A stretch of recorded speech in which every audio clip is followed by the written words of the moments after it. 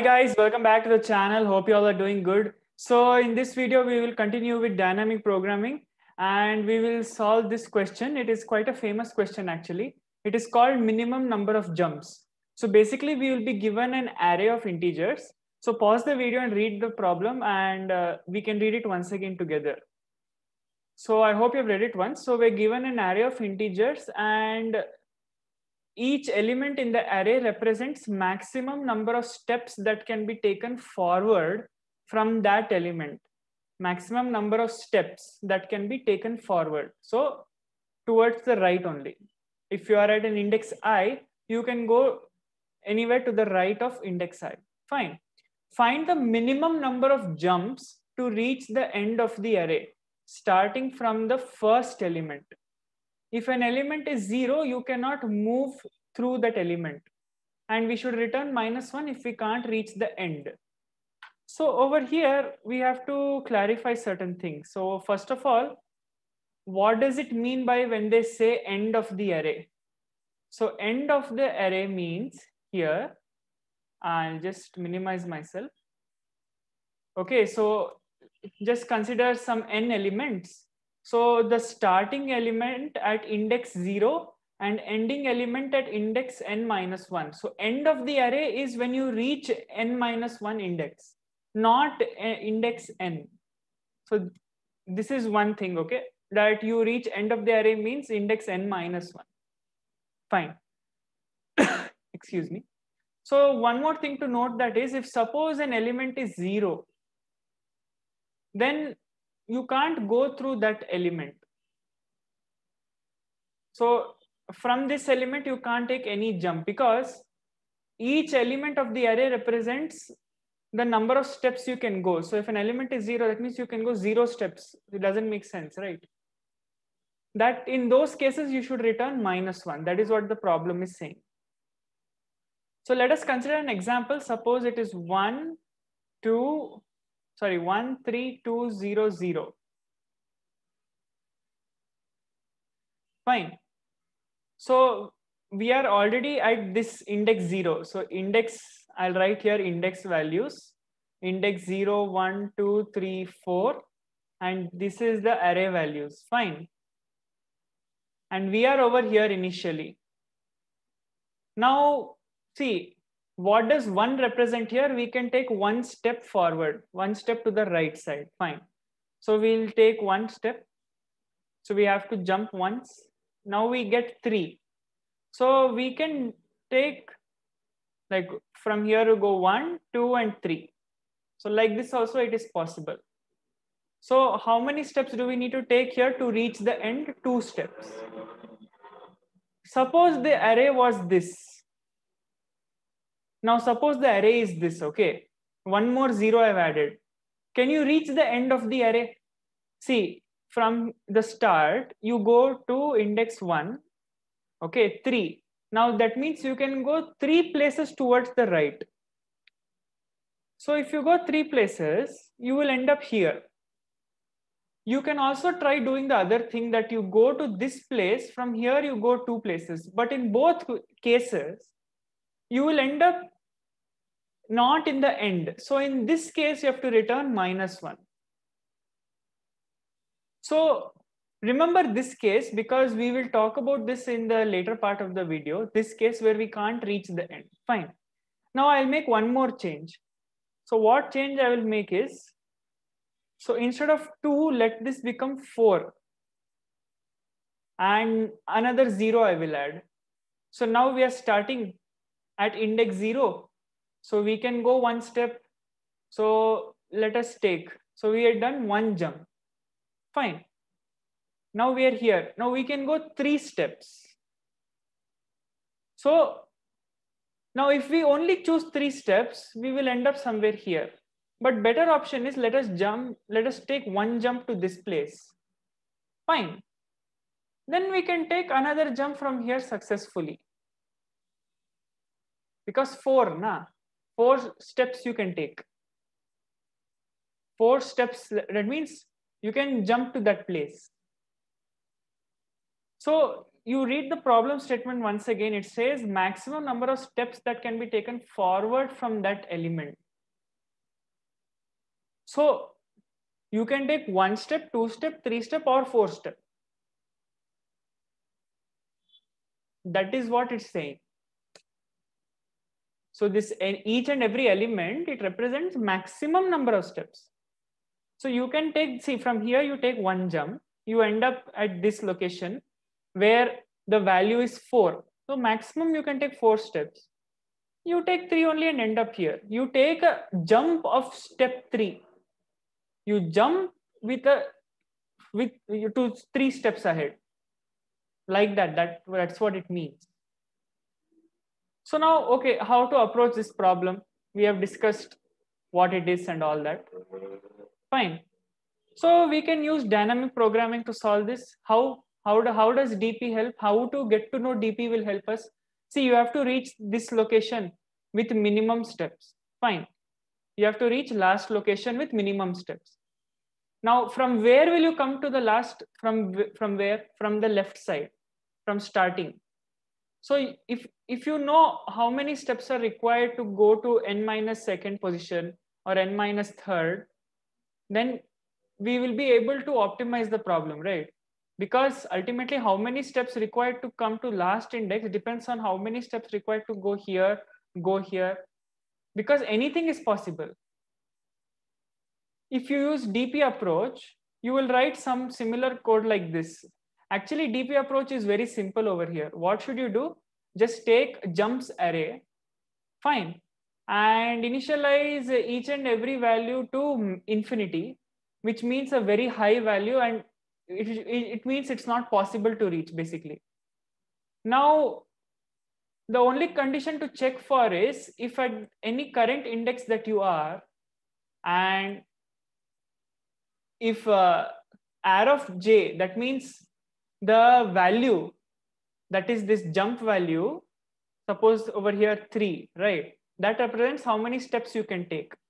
So over here, we need to define something called reach reach is nothing but r of i plus i, which means from the ith index, from position i, from where to go, I mean, uh, how many steps I can go forward or what is my maximum reach. So that will be this value. So if this value is greater than where I can end up, then I will consider minimum of jumps of i or 1 plus jumps of j.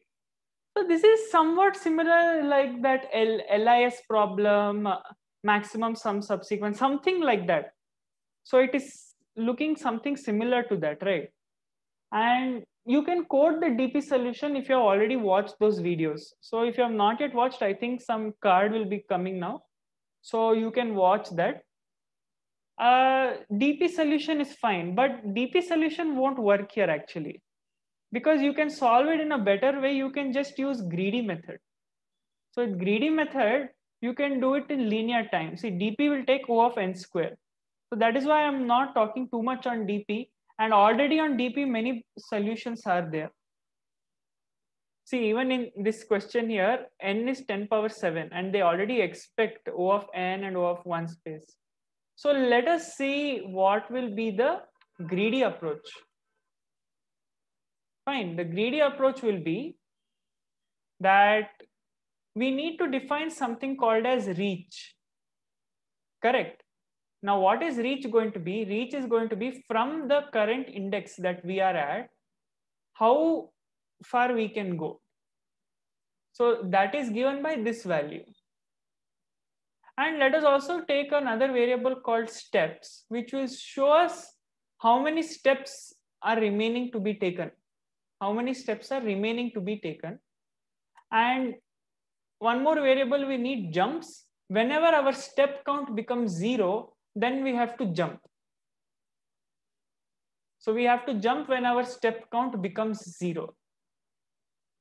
So what happens is, uh, we initially let reach be equal to the first element, correct? And over here, base case is if our first element itself is zero, see if uh, instead of one, it was zero over here, we can't go ahead, we can't do anything. So if first element itself is zero, we return minus one. And if only one element is there, then we return a zero because only one element, we are already at the last position. So this is, these two are base cases, correct? Now what I will do, I will say, okay, fine. First of all, my reach, I, I am already at index zero, correct? So my reach will be array of zero. I don't have to write array of zero plus zero. It doesn't make sense. I mean, I mean, it's not needed. Then I will take steps. So how many steps I can take? Initially, I can take how many ever, what is, whatever the value of array of zero is. And let me take uh, jumps variable, fine. I will take jumps. And every time I will try to find for a better reach. So suppose if I change this example to four, see when I'm at three here, I can be at four also. I don't have to end up at this zero.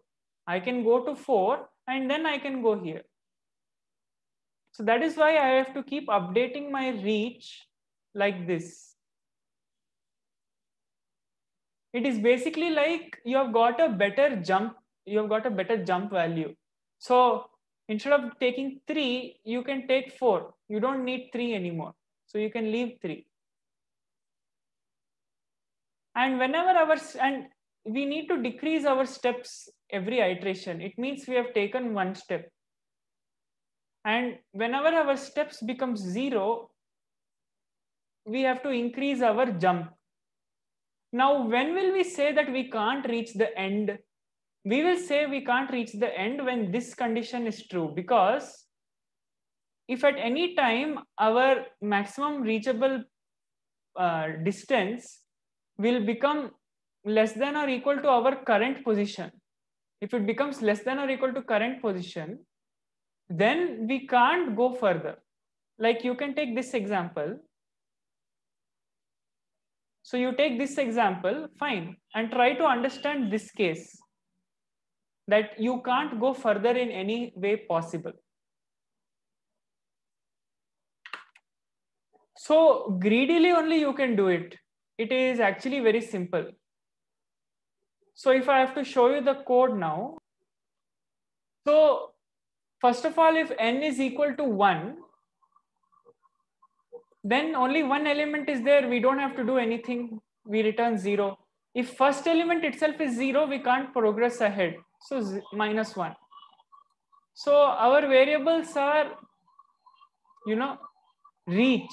So that will tell us how far we can go from a current point and number of steps that we can take and jumps initially jumps is one because we need at least one jump see if this condition is not true, then we need to make at least one jump to reach the end. Fine. So we start from index one because index zero, we are already at index zero and we don't have to go until the last uh, index. We don't have to go to index n minus one. So we can say i less than n minus one only. We'll finally return jumps. What we will do, we will always record reach. We will always try to find out a better reach. Okay? And we will decrease our steps. Whenever steps become zero that means we now it's the time we have to jump. And the invalid case that is when we can't reach the end of the array this is what happens. If i is greater than or equal to our reach then we return minus one. Because we can't reach the end you can take this case you can take this example for that to understand this one. And we have to decrease our steps because see whenever we have to jump we will jump with a certain value. So that array value whatever we have that many number of steps are there. So whatever the index we are at currently so if we are at suppose this index fine. And our steps has become zero. Now we have to get a new step. So steps will be reach minus i. Because our reach is telling us where we can end up. And where we are currently is at index i. So how many steps we have? Reach minus i So on the way, if we get a better reach, that is, whenever we encounter a element of the array which gives us a better uh, reach, we will take that only into account.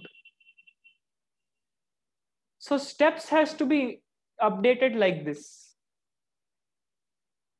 So greedily only you can solve this problem and you will find many uh, videos already on this. And uh, I think LeetCode, there are many problems like jump game one, two, three, four or something. You can check that out also. And speaking of LeetCode, I am making problems on LeetCode also. Please do watch those videos. That uh, playlist will be there in the description. And I'll try to solve problems which are not in this list and which are not uh, so common and not so easy, like medium to hard level only I'll solve. So I hope you were able to understand this is actually easy. This is very easy actually. This is greedy and almost like uh, not i can't say brute force but yeah it is very understandable. So that's all for this video. Please share it with your friends. If you liked it hit the like button. Subscribe to the channel. It will really motivate me. Until the next video take care stay safe keep learning keep growing. Stay tuned. Bye